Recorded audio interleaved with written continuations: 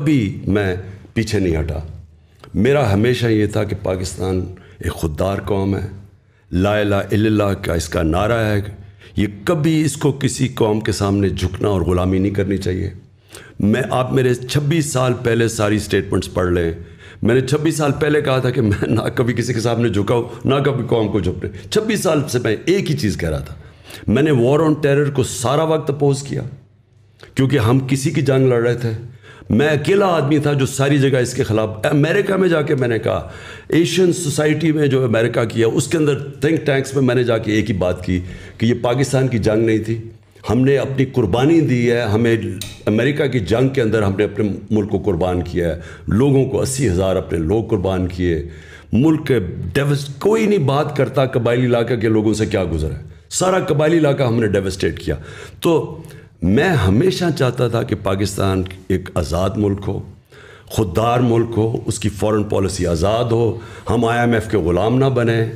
और ये कभी चेंज नहीं हुआ। तो मैंने तो जो अपनी फॉरेन पॉलिसी थी उसी के मुताबिक रखी। हमारा इंटरेस्ट क्या है?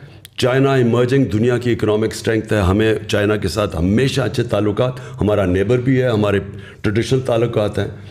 उधर से पुशबैक ये आती थी कि तुम कटेल करोगे चाइना से ज़्यादा क्योंकि अमेरिका और वो ब्लॉक्स में जा रहे थे। हमने कहा हम दोनों से दोस्ती रखेंगे।